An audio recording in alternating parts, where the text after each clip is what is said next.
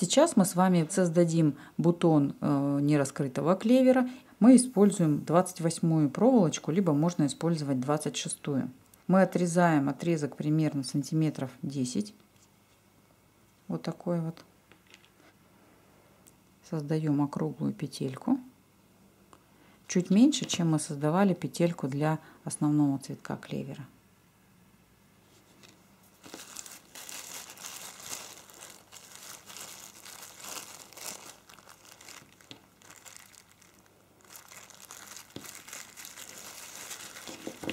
Сейчас мы с вами также обкатаем часть стебля, но обкатаем его, оставляя снизу примерно 1,5-2 сантиметра проволочки не обкатаны, а, чтобы у нас была возможность закрепить наш бутон к стеблю, к основному. Итак, мы берем кусочек глины примерно 5-7 миллиметров, слегка расплющиваем, также промазываем клеем поверхность. И обкатываем нашу проволочку, начиная под петелькой. Защипываем и также прокатываем. Что касается толщины. У бутона толщина стебля должна быть тоньше, чем у основного цветка.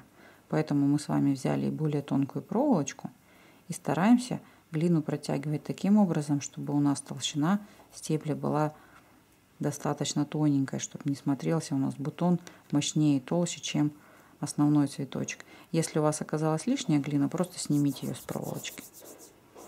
Точно так же мы прокатываем. И стеком проглаживаем вдоль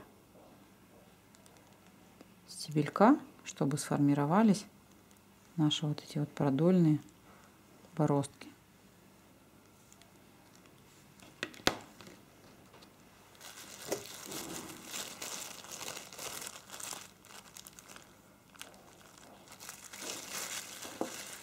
Затем мы берем кусочек глины. По диаметру он будет чуть меньше, чем у нас основной цветочек. Разминаем его и формируем шарик. Затем петельку также смазываем клеем.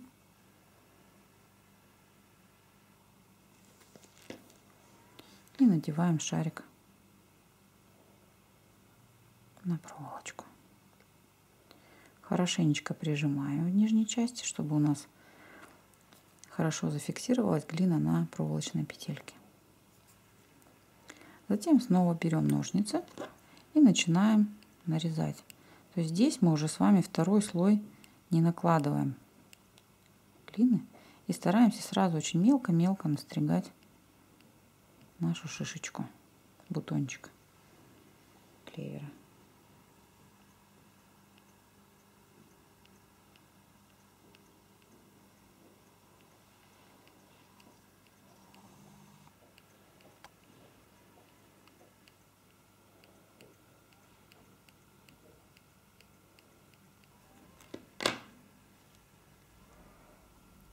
Такая шишечка у нас с вами получилась.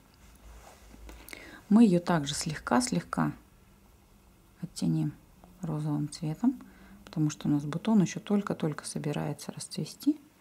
Поэтому оттеночек должен быть очень-очень легким и нежным. Вот, если положить их рядом, выглядят они вот так.